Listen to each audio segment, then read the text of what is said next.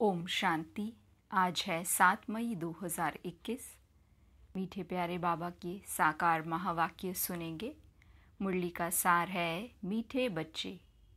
रावण ने तुम्हें बहुत पीड़ित किया है। अभी तुम भक्तों का रक्षक भगवान आया है तुम्हारी पीड़ा को दूर करने। रावण ने तुम्हें बहुत पीड़ित किया है। अभी तुम भक्तों का रक्षक भगवान आया है, तुम्हारी पीड़ा को दूर करने। प्रश्न है, सपूत बच्चों की, मुख्य दो निशानियाँ सुनाओ। उत्तर, सपूत बच्चे सदा मात पिता को फॉलो कर तख्त नशीन बनेंगे, खूब पुरुषार्थ में लगे रहेंगे। दूसरी पॉइंट उनकी बाप से दिल बहुत सच्ची होगी। सच्चे दिल वाले सदा श्रीमत पर चलेंगे। अगर अंदर में सच्चाई नहीं तो याद में रह नहीं सकते। गीत है, भोलेनाथ से निराला कोई और नहीं।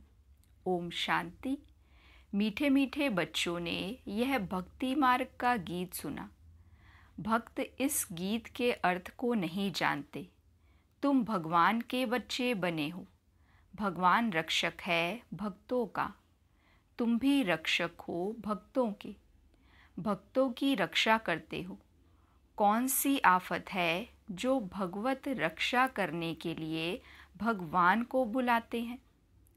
भक्तों को रावण का बहुत दुख है। रावण संप्रदाय पीड़ित है दुखों से। तो भोलानाथ को याद करते हैं। वह है रावण संप्रदाय, यह है राम संप्रदाय। भक्तों को यह पता ही नहीं है कि हमारा रक्षक कौन है।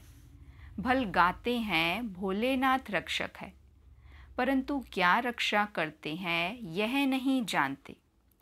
तुम बच्चे अब समझते हो कि भोलानाथ शिव बाबा ही बिगड़ी को बनाने वाला है। दुनिया को तो पता नहीं है कि भगवान किसको कहा जाता है।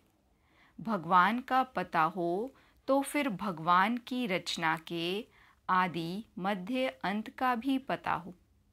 ना भगवान को जानते, ना रचना का पता है। इसलिए ऐसे मनुष्य संप्रदाय को ब्लाइंड भी कहा जाता है। दूसरे तरफ़ तुम हो जिनको दिव्य दृष्टि मिली है। अब तुम्हारा नाम ही है ब्रह्मा कुमार कुमारियाँ। बोर्ड पर भी नाम लगा हुआ है। ब्रह्मा कुमारी ईश्वरीय विश्वविद्यालय। सिर्फ़ ब्रह्मा कुमारियाँ हो नहीं सकती। प्रजापिता ब्रह्मा है ना? पिता के पास बच्चे और बच्चियाँ दोनों होते हैं। प्रजापिता ब्रह्मा को ही इतने ढेर बच्चे हो सकते हैं। तो समझना चाहिए, यह बेहद का पिता है। यह भी जानते हैं, ब्रह्मा, विष्णु, शंकर को रचने वाला बाप ही है, जिसको निराकार कहा जाता है। यह हो गया बेहद का बाप। यह भी जानते हो, परमपिता परमात्मा ब्रह्मा द्वारा रचना रचते हैं। इनकी सारी रचना है, सब मनुष्य मात्र वास्तव में शिववंशी हैं। अभी तुम आकर प्रजापिता ब्रह्मा की संतान बने हो। यह है नई रचना। परमपिता परमात्मा ब्रह्मा द्वारा रचना रचते हैं। तो तुमको ब्रह्मा कुमार, कुमारियाँ कहा जाता है? इतने बेहद के बच्चे हैं, ज़रूर बेहद का वर्षा लेते होंगे। बच्चे जानते हैं, हम ब्रह्मा कुमार कुमारियों को शिव बाबा ने अडॉप्ट किया है। शिव बाबा कहते हैं, तुम हमारे बच्चे हो। तुम आत्माएँ भी निराकार थी, परंतु ज्ञान तो साकार में चाहिए। तुम जानते हो, हम आदि स्नातन देवी देवता धर्म के थे। ब्रह्मा द्वारा रचना यहाँ होती है। शिव जयंती भी यहाँ मनाई जाती है। यहाँ मग्ध देश में ही जन्म लिया है। बाप कहते हैं, यह देश बहुत पवित्र, स्वर्ग था। अभी इनको नरक मग्ध देश कहा जाता है। फिर स्वर्ग बनना है। तुम बच्चों की बुद्धि में है, शिव बाबा हमको फिर से राजयोग सिखाए, पवित्र बनाते हैं। गाते भी हैं, पतित पावन भक्तों के रक्षक भगवान, भक्त ही पुकारते हैं। पतित होते हुए भी अपने को पतित नहीं समझते हैं। बाप समझाते हैं, तुम सभी पतित हो। पावन दुनिया सत्य को पतित दुनिया कलयुग को कहा जाता है। बाप तुम्हें सब राइट बताते हैं। लाखों वर्षों की तो कोई चीज़ होती नहीं। मनुष्य घोर अंधियारे में है। समझते हैं, कलयुग तो अभी छोटा बच्चा है। और तुम जानते हो, मौत सामने खड़ा है। अंधियारे और रोशनी का वर्णन संगम पर ही किया जाता है। अब तुम घोर प्रकाश में आए हो। सत्युग में तुम यह वर्णन नहीं कर सकेंगे। वहाँ यह नॉलेज ही नहीं रहती। इस समय बाप बैठ बच्चों को समझाते हैं, तुम सत्युग में सूर्यवंशी घराने के थे। फिर अंत में आकर शूद्रवंशी घराने के बने हो। अब फिर ब्राह्मण वंशी बने हो। अभी तुम हो सर्वोत्तम ब्राह्मण कुल के। तुम हो ऊंच ते ऊंच। यह ईश्वरीय कुल है ना? बाप के पास आते हैं तो बाबा पूछते हैं, किसके पास आए हो? तो कहते हैं बाप के पास। बाप दो हैं, एक है लौकिक, दूसरा पारलौकिक। सभी सालिग्रामों का बाप एक ही शिव है। तुम्हारी बुद्धि में यह टपकता है। हम एक बाप के बच्चे हैं, जिससे वर्षा लेते हैं। निराकार वर्षा तो साकार द्वारा ही देंगे ना? बाप खुद कहते हैं, मैं साधारण तन में आकर प्रवेश करता हूँ। अब बाप बच्चों को कहते हैं, बच्चे, देही अभिमानी भव। अपने को आत्मा समझो। यह देह विनाशी है, आत्मा अविनाशी है। आत्मा को ही चौरासी जन्म लेने पड़ते हैं, ना कि देह को। देह तो बदलती रहती है, फिर दूसरे मित्र संबंधी मिलते हैं। अभी आत्मा को बेहद के बाप से वर्षा लेना है। परमपिता परमात्मा द्वारा तुम ही सुनकर फिर धारण करते हो। संस्कार तुम्हारी आत्मा में है। आत्मा में ही संस्कार रहते हैं। ऐसे नहीं कि शरीर के संस्कार कहेंगे। नहीं, तुम्हारी आत्मा के संस्कार तमो प्रधान है। उनको अब चेंज करना है। काया कल्पतरु कहा जाता है। काया कल्प वृक्ष समान बनती है। आयु भी बड़ी रहती है। तुम जानते हो, यहाँ तो आयु बहुत छोटी रहती है। छोटी आयु में ही बैठे बैठे अकाले मृत्यु हो जाती है। अभी तुम काल पर विजय पाते हो। वहाँ काल कभी खाता नहीं। अकाले कब शरीर नहीं छूटता। तुम जानते हो, अब यह शरीर बूढ़ा हुआ है, इनको छोड़कर नया लेना है। शरीर छोड़ने समय भी बाजे बजाते हैं, जन्म लेने समय भी बजते हैं। वहाँ रोने की बात ही नहीं होती।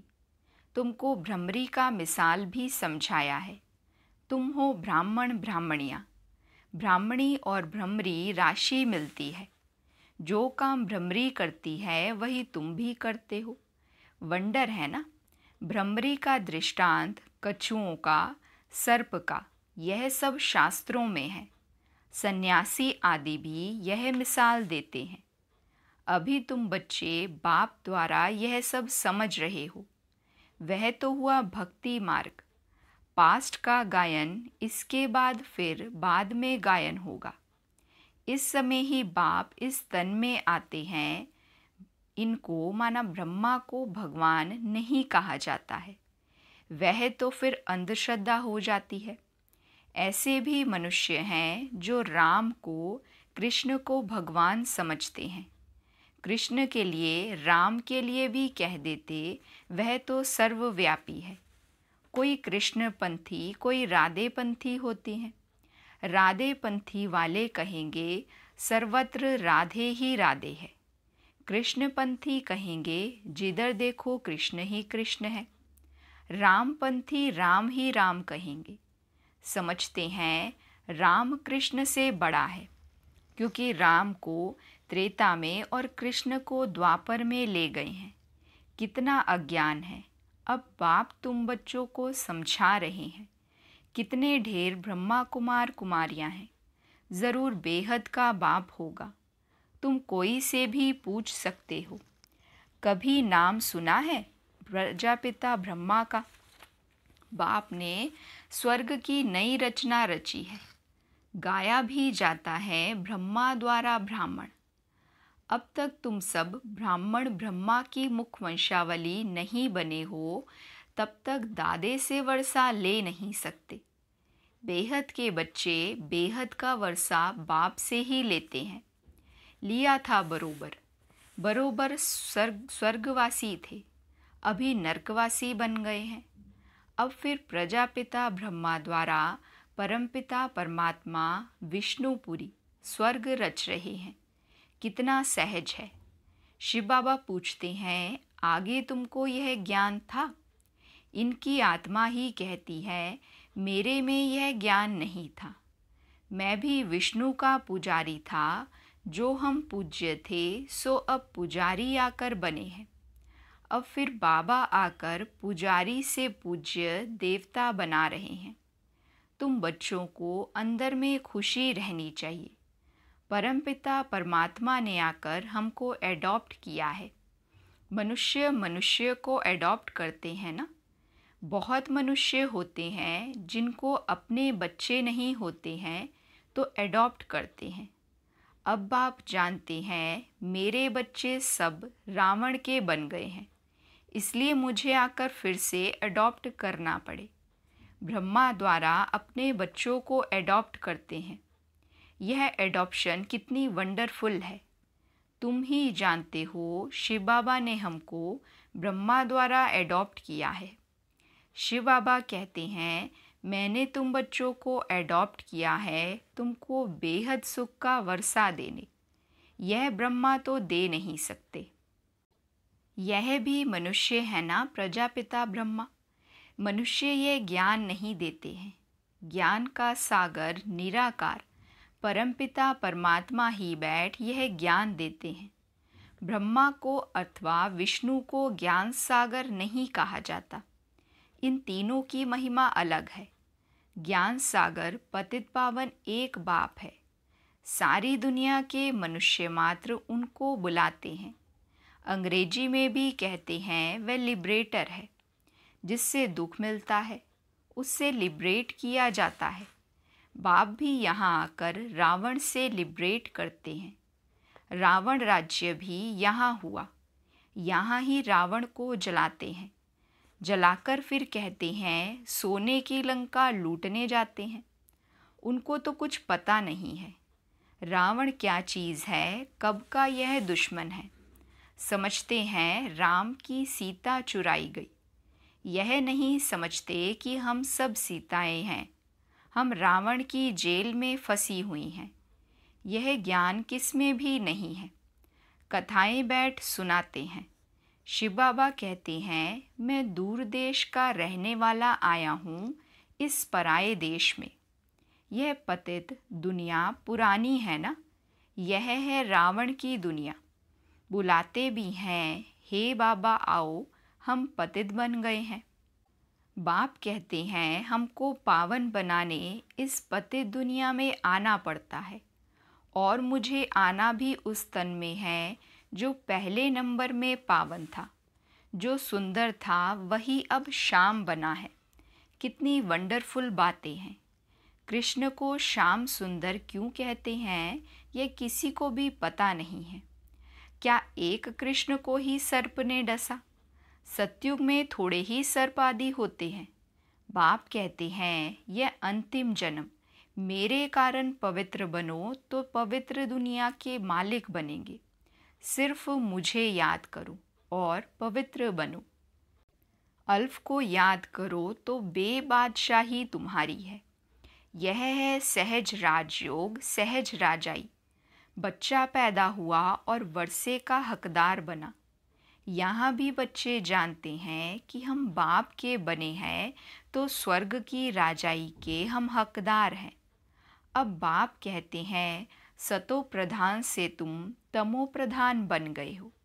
फिर सतो प्रधान बनना है। योग और ज्ञान सिखाने में एक सेकंड लगता है। बच्चा पैदा हुआ और वारिस निश्चय हुआ। तुम बाप के बने हो तो राजधानी का वर्षा तुम्हारा है। परंतु राजा रानी सब तो नहीं बनेंगे। यह है राजयोग। राजा रानी प्रजा, साहूकार, गरीब सब चाहिए। इसलिए रुद्रमाला भी बनी हुई है। जो भक्ति मार्ग में जपते हैं। तुम जानते हो हम राजयोग सीखने आए हैं। मात पिता को फॉलो कर पहले पहले सूर्यवंशी, चंद्रवंशी बनेंगे। सपूत बच्चे वह जो मात पिता को फॉलो कर तख्त नशीन बने। पुरुषार्थ खूब करना चाहिए। बाप कहते हैं, मुझे याद करो तो करते नहीं। श्रीमत पर चलते नहीं हैं। अंदर सच्चाई नहीं है। दिल सच्ची हो तो श्रीमत पर चलते बाप को याद करते रहें। श्रीमत पर ही तुमको दादे से वर्षा मिलता है। ब्रह्मा स्वर्ग का वर्षा दे नहीं सकते। दादे की कमाई पर पोतरे का हक रहता है। बाप की कमाई के बच्चे भागीदार बनते हैं तो हकदार हैं। यहाँ तुमको शिव बाबा से वर्षा मिलता है। ज्ञान रतन बाप से ही मिलते हैं। तुम जानते हो, हम ब्राह्मण ही सो फिर देवी देवता बनेंगे। जगत अम्बा कौन है? बाप समझाते हैं, यह ब्राह्मणी थी। ज्ञान ज्ञानेश्वरी थी, फिर राज राजेश्वरी बनती है। तुम भी ऐसे बनते हो। अच्छा मीठे मीठे सिकिलते बच्चों प्रति। मात पिता बाप दादा का। याद प्यार और गुड मॉर्निंग। रूहानी बाप की, रूहानी बच्चों को नमस्ते। हम रूहानी बच्चों की, रूहानी बाप दादा को दिल व जान सिक व प्रेम से। नमस्ते नमस्ते नमस्ते जी। गुड मॉर्निंग बाबा। शुक्रिया बाबा। वहाँ मेरा भाग्य, वहाँ मेरे भाग्य विधाता बाबा। धारणा के लिए मुख्य सार है पहली पॉइंट। आत्मा में जो तमो प्रधानता के संस्कार हैं, उन्हें याद के बल से चेंज करना है। सतो प्रधान बनना है। दूसरी पॉइंट बाप से राजाई का वर्षा लेने के लिए। सदा सपूत बच्चा बन, श्रीमत पर चलना है। सच्चे बाप से सच्चा रहना है। मात पिता को पूरा फॉलो करना है। ज्ञान रत्नों का दान करते रहना है। वरदान है सहयोग की शक्ति से।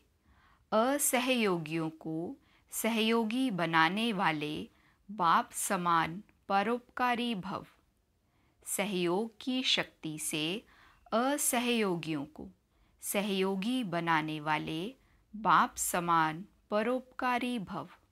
बाबा समझाते, सहयोगियों के साथ सहयोगी बनना, यह कोई महावीरता नहीं है।